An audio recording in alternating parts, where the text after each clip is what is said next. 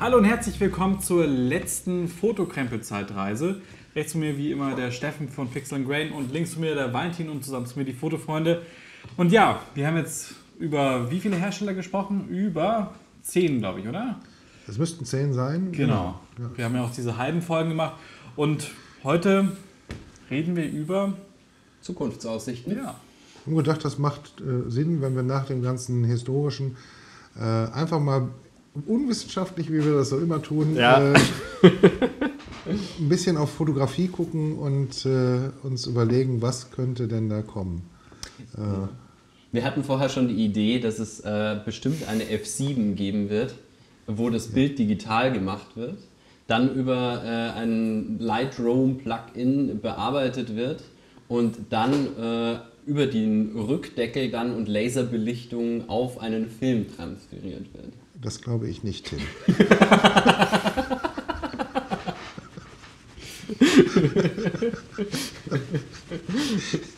Aber sie würde ihre Abnehmer finden, ich bin mir sicher. Jetzt ist ja die Frage, das muss der Aare Steuer sein, wenn man das auch nicht leisten wollen würde. Aber prinzipiell wäre das ja schon interessant. Ja, äh, Aber du, du hast fundierter drüber nachgedacht, ich, glaube ich. äh, nein, äh, äh, Ivo, äh, erstmal wäre aber meine Frage eine andere. Äh, was, was glaubt ihr, ähm, werden wir in der ana- analogen Fotografie, denn das ist ja der Bereich, wo wir uns äh, ähm, primär aufhalten, ähm, werden wir da echte Neuerungen sehen, Dinge, die es bis jetzt nicht gegeben hat? Das Ja. glaube ich im Filmbereich. Ich weiß nicht, ob es in den Kameras so sein wird, aber Film. Na, wir hatten, wir hatten es ja gestern irgendwie in, in einer abendlichen äh, Runde, wo wir saßen, noch gehabt, irgendwie ein Modul, das man in den Vergrößerer packen kann, was ein Digitalbild vergrößern kann. Irgendwie über ein OLED-Display oder keine Ahnung was. Ähm, das könnte ich mir irgendwie direkt vorstellen. Und da könnte ich mir vorstellen, dass es dann auch wieder ähm, mehr Leute gibt, die auch aus dem digitalen Sektor kommen, die sagen so, zumindest eine, eine kleine Dunkelkammer halte ich mir schon irgendwo. Ich kann mir zum Beispiel auch vorstellen, dass es äh, eine Kamera geben wird, die ähm, beides macht, die hybrid fo fo fotografiert, die einen Film belichtet, aber zum gleichen Zeitpunkt ähm, auch ein Digitalbild, in welcher Qualität, äh, ne, aber als Vorschau ähm, macht. Das, Haben wir nicht so was Wurdest du schon mal ähnliches? eben, ich dachte, Mit, mit diese Instax-Dinger gibt es doch, oder? Machen die nicht sowohl als auch, oder täusche ich mich da? ja, wenn man das, was da rauskommt, als Analogbild äh, bezeichnet, äh, dann machen die das ja aber du tatsächlich. meinst dann wirklich eine gescheite Kleinbildkamera. Ja. Also das kann ich mir vorstellen, ob das so ist oder nicht, Ja, aber eine vorstellen kann ich mir Frage, das. ja. ne? Vielleicht, vielleicht wie diese Zweifilmkamera Ja, ja, realisiert, ja. dann kommt sie doch noch in Serienproduktion. Oder, oder eine, eine, eine Spiegelreflexkamera, wo du, da bedienst du ja sowieso schon zwei Wege. Ja. Äh, Und wenn du in dem Moment, kurz bevor der Spiegel hochklappt, ähm, noch, noch ein, ein digitales Bild machst, bevor das Bild auf den Sensor, auf, auf den Film fällt, Ja. Äh, ne, wäre, wäre machbar. Ja. Ähm, und du hast dann eine, eine, eine äh, Kontrolle äh, und trotzdem analog fotografiert. Also ich kann mir vorstellen, dass irgendjemand sagt, das finde ich eine, eine lustige Idee, das probiere ich aus. Ja, ja. Das, äh, Das, also dann haben wir, haben wir vielleicht so ein Prisma, wo man hier irgendwie einen Digitalsensor drin hat oder so. Ja, ja. Und es wird, wird genauso dann Leute geben, die sagen, es ist totaler Mumpitz, und es wird Leute geben, die sagen, oh, finde ich spannend. Ja. Das ist ja immer so. Das, äh, und, äh, Das, das haben wir ja, glaube ich, hier auch gemerkt, als wir so, so auch immer so zwischen den Folgen Ja. mal so, so, so zwei, drei Minuten Zeit Genau, hatten, genau. zu quatschen. Ne? jeder Hack ist anders. Ja. Und letzten Endes, äh, glaube ich, weiß ich nicht, hast du ein Problem mit, mit kleinen Suchern? Das ist, glaube ich, so. Äh, Das, ist eine persönliche Präferenz. Ja, genau. Ja. Und ich muss sagen, ich habe ein Problem mit schweren Kameras. Also Ja. sobald es mir zu schwer wird, also das hier ist schon hart an der Obergrenze. Du wärst, du wärst kein Freund so von meinem Lieblingsformat. Ne? Das, ist so, das ist so, was ich als Kamera zum, zum in der Hand halten angenehm finde. ja, für das, was es ist, ganz bestimmt nicht. Nee. Ne? Also, Ich mag diese, diese, diese Metallbomber-Klasse, äh, so der vor den kompakten finde ich sehr angenehm für Ja, meine ja. Pfoten. Ja, für, für, für, die, für die Pfoten vielleicht noch. Ich sag mal, für den Hals wird es irgendwann stressig, glaube ich. Äh, der Hals trägt ja schon meinen ganzen Bauch, da fällt so eine Kamera nicht auf. Also. Ja, aber du hast ja auch irgendwann eine Hand, weil du nimmst ja die ganze Zeit. Ja. Das ja gar nicht im Hals hängen. Ach so, meinst du? Ja, ja. Das ist eine gute Idee. Im, Im Digitalsektor glaube ich, dass wir ähm, uns immer weiter vom tatsächlichen Bilder machen äh, entfernen werden. Also ich, wenn ich da in die Zukunft gucke mit meiner professionellen Glaskugel, äh, die ich beim Chinesen des Vertrauens bestellt habe, von so ein sehr vertrauenswürdiges Produkt. Dann sagt die mir, dass wir äh, zwei Dinge in der Fotografie erleben werden. Und ich finde das jetzt super spannend, das in einem YouTube-Video zu erzählen, weil man dann eventuell in zehn Jahren gucken kann, was davon eingetroffen ist. Ja, ja. Ähm, ich glaube, dass wir auf der einen Seite Kameras sehen werden, die äh, zum Thema KI, äh, also Bilder sehr viel mehr rechnen werden als heute. Also es ist ja kein Ding, in eine Kamera zum Beispiel fünf, sieben, zehn Spezialobjektive einzubauen, äh, die nicht alle nur im sichtbaren Bereich arbeiten. Da arbeiten ein paar im, im, im Infrarotbereich, äh, Ja. die für Strukturen äh, zuständig sind. Dann gibt es ein paar sehr weitwinklige Linsen, ein paar sehr, sehr nah ranzoomende Linsen. Und dann kannst du dieser Kamera nachher im Prinzip sagen, ich möchte jetzt mit 35 mm fotografieren, Brennweite. Ähm, dann werden die Strukturen aus dem für Struktur zuständig äh, seienden Objektiv, die Farben werden aus dem für Farbe zuständig seienden Objektiv und äh, der Bildausschnitt aus einem dieser Brennweite entsprechenden Objektiv äh, genommen und dann wird das Ganze zusammengerechnet und dann hast du ein entsprechendes Bild. Und wenn du dann äh, die Software noch ein bisschen weiter denkst, weil das ist ein, etwas, was im Audiobereich heute gang und gäbe ist, äh, simulieren oder emulieren, dann kannst du eine Planar-Emulation darüber legen oder dann kannst du eine Tessa-Emulation darüber legen. Ja, ja, ja. Äh, weil du kannst ja im Prinzip durch dieses Objektiv vermessen, du kannst äh, rausfinden, neutral rausfinden, wie verhält sich dieses Ja, Glaskonstrukt äh, zu Licht, zu Farben, zu Wellenlängen. Ähm, das, daraus kannst du eine, eine, einen Algorithmus machen und den kannst du beim Bild wieder drüber packen und dann sieht natürlich dein neutral gerechnetes Bild mit den Daten entsprechend aus, wie mit einem Tesla fotografiert. Also das ist ein, ein Bereich, den ich glaube. Aber, aber denkst du, das ist dann der, der endgültige Tod der klassischen Filmfotografie? Nein. Das ist, das ist genauso wenig der Tod der klassischen Filmfotografie wie äh, ähm, Deutschrap der Tod der Geige ist. Das ist so. Ja, das, äh, das, das wird nicht passieren. Es werden Dinge irgendwann obsolet werden, äh, Ja. gerade was, was Mainstream angeht. Und das ist bei analoger Fotografie ja eigentlich schon längst passiert. Ja. Und es ist ja auch nicht ähm, so, dass äh, orchestrale Musik äh, das Mainstream-Thema schlechthin ist. Aber wenn man bestimmte Emotionen erzeugen will, wenn du einen Hollywood-Blockbuster dir anguckst oder so, sowas, äh, dann wird da immer noch schön analog produziert. Und dann nimmt man auch ein ganz klassisches Orchester und Ja. setzt das dahin. Also es ist nicht nur im High-End-Bereich so, sondern auch äh, im Mainstream-Bereich, wenn bestimmte Aufgaben zu erfüllen sind. Und genauso denke ich, wird es da auch eine Diversität geben, dass die analoge Fotografie auch ihren Markt noch hat. Ja, ja. Ich bin gespannt, wenn wir es in zehn Jahren anschauen Ja. und alle vor unseren vollen Filmkühlschränken stehen und uns denken, hätten wir denen damals doch nicht simuliert, sie sollten noch ein Werk bauen, das sie sich dann völlig ruiniert haben. Das, das glaube ich im analogen Bereich, dass wir noch ganz viel, äh, ich sage mal in Anführungszeichen, Bastellösungen sehen werden, Ja. aus denen dann neue Dinge entstehen. Auch das ist im Audiobereich, da habe ich das quasi schon mal so erlebt. Da sind die großen ähm, Audiotechnikhersteller, großen Synthesizer-Hersteller quasi alle vor die Wand gefahren. Ähm, Leute, wo man nie gedacht hätte, dass die Firmen irgendwie in Gefahr geraten könnten, haben wirklich das, das Tageslicht nicht mehr gesehen.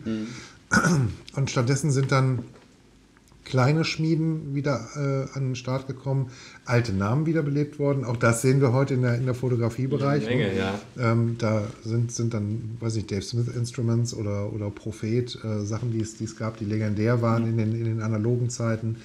Ähm, die sind dann wiederbelebt worden, als, äh, äh, zuerst als virtuell analoge, als, als Software-Emulation.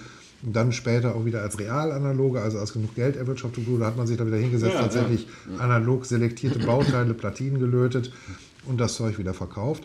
Äh, auch nicht Mainstream-Ware, die arbeiten weiter mit Plugins, aber es gibt immer wieder Liebhaber, die sagen, nö, also ich kaufe mir jetzt wieder einen voll dezent aufgebauten Analog-Synthesizer Ja. Oder ein Modularsystem, das sind diese äh, Wände, wo man Kabel zwischensteckt. Ja. Ähm, auch die hat es dann wieder gegeben auf einmal. Ähm, und das werden wir, glaube ich, auch in der, in der, in der Analogfotografie sehen. Ähm, kleine Unternehmen, die ähm, mit pfiffigen Ideen äh, auf ganz neue Wege gehen, die dann nicht für jedermann sind. Also als Beispiel einfach nur den, den äh, wie heißt das, Paper Exposure, diese, diese App fürs Handy, ähm, wo du deine 35 mm Kamera Ah, auf ein ja. Stativ tust und äh, hast einen, einen Vergrößerer im Prinzip. Keinen High-End-Vergrößerer, aber das Ding kann immerhin Split Grade. Äh, also ja, im Prinzip hast du mit deiner Kamera alles, was du machen kannst und das Ding kostet, weiß ich nicht, 5, 7 Euro. Äh, Schon und du bist, du bist durch. Ne? Also so, das sind so Lösungen, von denen ich glaube, dass wir noch viel mehr sehen Mhm. werden. Äh, kleine, kleine Geschichten, äh, Leute, die sich auf irgendwo. Reveni Labs, äh, diese kleinen Belichtungsmesser, die du ähm, Ja, bei den ganzen Kameras, wo die Selen-Dinger abkacken, äh, kannst du mittlerweile für, für kleines Geld ähm, Dinge draufstecken. Mhm. Und man sieht sogar, das zieht Kreise. Äh, die haben angefangen, solche Dinge anzubieten. Ruckzuck gab es aus Fernost, aus China, äh, die ersten Nachbauten, teilweise mittlerweile Preis runter bis auf 25 Dollar. Genial, ja, ja. Wo du so ein Ding kaufen kannst, das im Prinzip dem von Vogtländer, was immer noch verkauft wird, diesem äh, Belichtungsmesser, 250 Euro kostet entsprechend.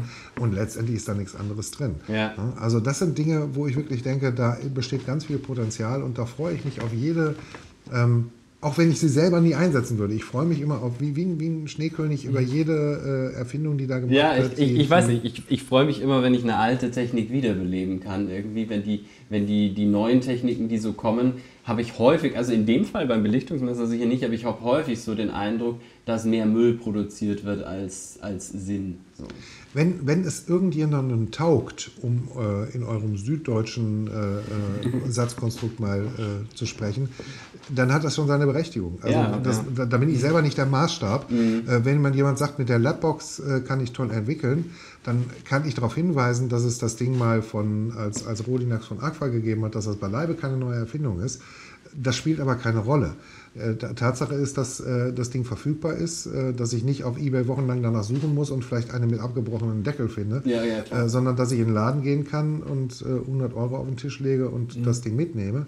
Äh, natürlich sind die am Anfang teuer. Bin, Ähm, das zu Hause dann doch nicht verwende, weil, naja. Nee, ich, ich, ich kenne durchaus Leute, die damit super zufrieden sind. Ja, die halt alle äh, drei Wochen mal einen Film entwickeln und äh, die sich darüber freuen, dass sie das am Schreibtisch ohne Geplansche machen können. Okay, also ich, ich muss auch sagen, ich habe sie nie benutzt. So. Also ich habe hab nur häufig gelesen, dass sie halt irgendwie dann Probleme hatten. Aber Äh, Die Leute haben ja mit allem Probleme. Also es Ja. gibt Leute, die haben mit Jovo-Dosen Probleme, es gibt Leute, die haben mit Patterson-Dosen Probleme, es gibt Leute, die haben mit Kaisertanks Probleme.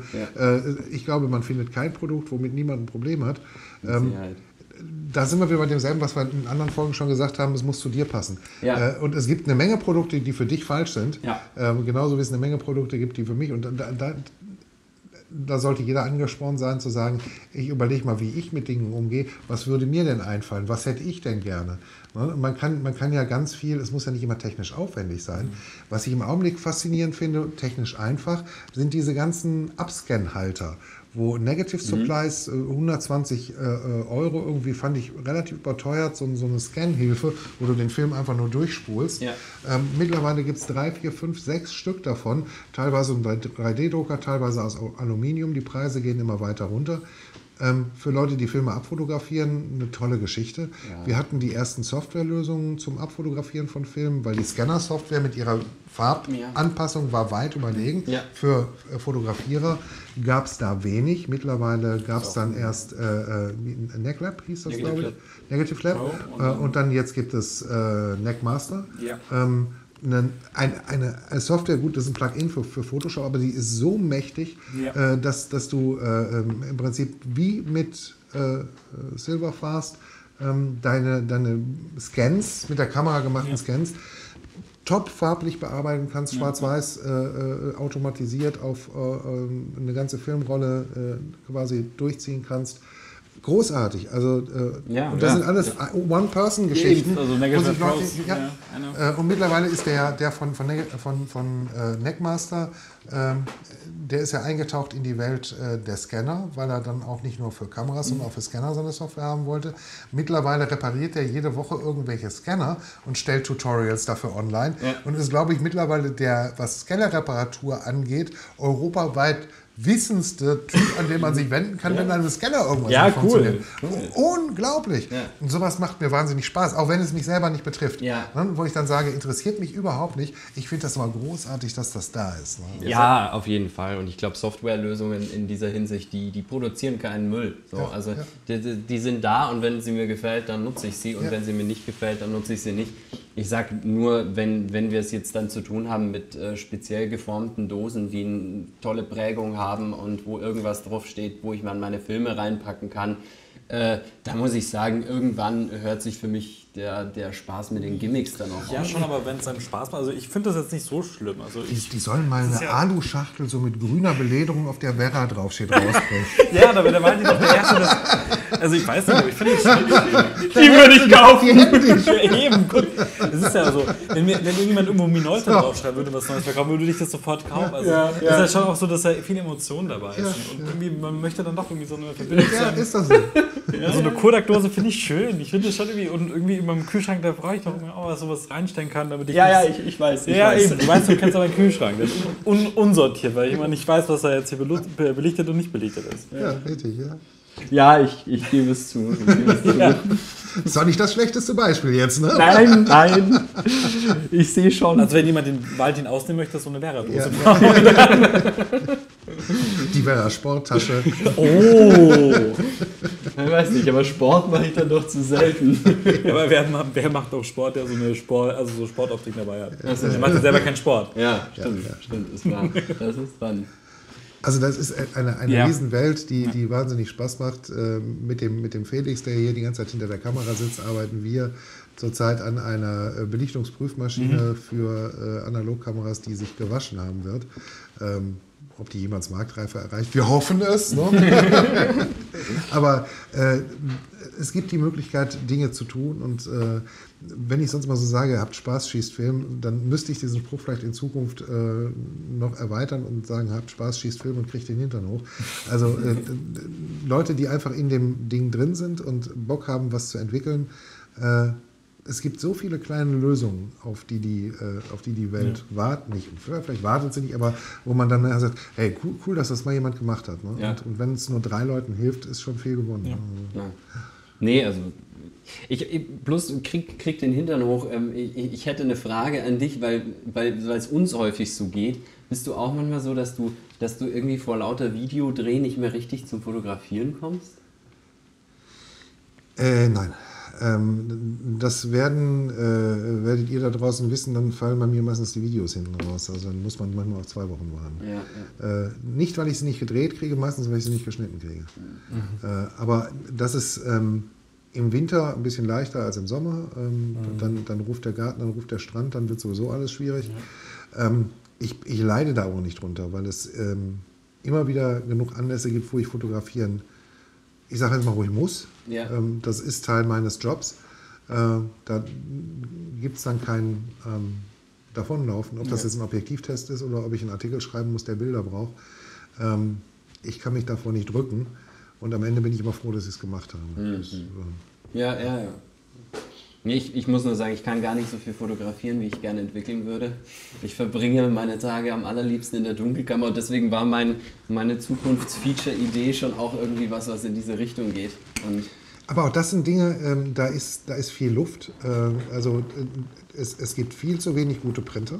ja, Ja, ähm, gerade ist wieder, ich habe den Namen blöderweise vergessen, das war in der, die analoge Fotografie lebt in Hamburg jemand, der äh, wirklich schon den, den Titel Masterprinter äh, verdient hat, der jetzt vor kurzem im, besten 50er-Alter gestorben ist, äh, wo, wo äh, nicht nur ein, ein, ein äh, durchaus äh, sympathischer und herzlicher Mensch gegangen ist, sondern ähm, wo die Fähigkeit, die er drauf hatte, was, was Drucken, analoges Ausbelichten angeht, äh, ein Riesenloch reißt, weil ganz viele Leute im Kunstbereich, im professionellen analogen Bereich bei ihm haben printen lassen. ja, ja. ja. Ähm, das ist manchmal ein bisschen was, was ich, was ich äh, schade finde in der, in der Situation heute, weil wir uns mit so viel Kram umgeben. Ähm, es gibt äh, etwas weniger Spezialisierung. Also wenn jemand ähm, wie du sagt, ich verbringe gerne äh, Zeit in der Dunkelkammer, ich belichte gerne aus, wäre mein erster Impuls immer denjenigen zu ermuntern, äh, das noch weiter zu intensivieren und äh, Leuten, die äh, andere Fähigkeiten haben oder andere Gelüste haben, ähm, das entweder äh, nahezubringen im, im Sinne von äh, Workshops oder noch besser im Sinne eines, eines, einer Dienstleistung anzubieten. Denn äh, Leute, die, das sagt die gerade, gut drucken können, gibt es immer weniger. Ja, ja, keine Frage. Ja. Aber gut, ich sag mal so, von, von dem Punkt, dass ich für andere drucken kann, bin ich, bin ich weit entfernt. Also das, das beschränkt sich auf den Hobbyismus. Da, da glaube ich, äh, würde ich auch sagen, äh, bleibe ich auch eine Weile noch. Sehe ich anders, aber kann- die Entscheidung verstehe ich. Aber im Prinzip, äh, ist die Frage, welchen, welchen Kundenkreis spreche ich an? Du sprichst jetzt vielleicht nicht den super High-End Fine Art äh, Fotografen an, der bei dir drucken lassen möchte, aber du kannst mit Sicherheit besser printen als äh, 70, 80 Prozent der Hobby-Dunkelkammerbetreiber, weil du da mehr Erfahrung hast und auch mehr Liebe hast. Ne? Und dann hast du die Situation, wenn du genau die Kunden bedienst, dann äh, steigt auch dein Level wieder und so. Aber das ist eine andere Geschichte. Andere Geschichte. Ich bin ja im wahren Leben doch eigentlich dann äh, immer noch Student. Das heißt, da gäbe es ja eigentlich noch irgendwie was, was so nebenbei noch laufen müsste. Darüber reden wir in einer weiteren Folge, wenn es heißt, welche Zukunft liegt im Studium. Ja. ja, aber sie ermöglicht uns auch heute hier zu sein Ja, und es ermöglichte uns dieses Wochenende hier zu sein und diese, dieses Power-Ding durchzuziehen. Es war ein, ein, ein Riesenvergnügen. Es war Ein hoffentlich auch für, für alle Zuschauer so ein Riesenvergnügen wie für uns. Und falls ihr das noch nicht getan habt, dann schaut euch bitte alle Folgen an ähm, und spürt den Spaß, den wir immer bei diesen Folgen gehabt haben, weil es war großartig. Was? War's. Das war es definitiv wert. äh, Und äh, vielleicht gibt es ja zu den ganzen Herstellern und Firsts, die wir noch nicht hatten, irgendwann Teil 2 von dem ganzen Zinnober. Ja. Aber wir wollen es nicht versprechen. So bekloppt Natürlich sind wir nicht. nicht. Nee, so nee, nee, bekloppt sind wir nicht. Schauen wir erstmal. Wir werden hier eine Mauer bauen. Ja. Ja, Niemand hat die Absicht, eine Mauer zu errichten. ja, vielen Dank für, für deine Gastfreundschaft, Ja. dass wir hier Ja, sein durften, dass wir ähm, auf deinem Kanal sein durften, aber dass wir auch in deinen privaten Räumen sein durften und ähm, du uns hier so herzlich aufgenommen hast. Das äh, hoffe ich nicht nur vor der Kamera gesagt, habe ich gerne getan. Ja. Ähm, ich hätte es alleine äh, nicht in Angriff genommen, weil es mir für mich alleine dann doch zu viel ähm, Zinnober gewesen wäre und weil mir äh, so dieser das Bälle hin und her werfen für das Format wahnsinnig gut gefallen hat. Hat uns auch gefallen. Und hat uns sicher auch weitergebracht. Also davor hatte ich noch nicht so viel Ahnung von all diesen Kameraherstellern, Ja. als Ja, ich jetzt hoffentlich habe. ich, ich glaube, es, es war eine, eine gute Fortbildung, Ja, was so- so- ja, hier eben. haben. Ja, ja absolut. Ja. Ja, und jetzt sind wir firm im Kameraherstellerbereich. Das wissen wir alles. Jetzt ist ja alles. Und ihr hoffentlich auch. Schön, dass ihr mit dabei seid. Und tschüss, bis vielleicht zu einer anderen Folge. Ciao. Habt Spaß, schießt Film. Yay. Sehr gut. Jetzt Oh, ja, ja. holen wir die Flasche Sekt raus und betrinken uns maßlos.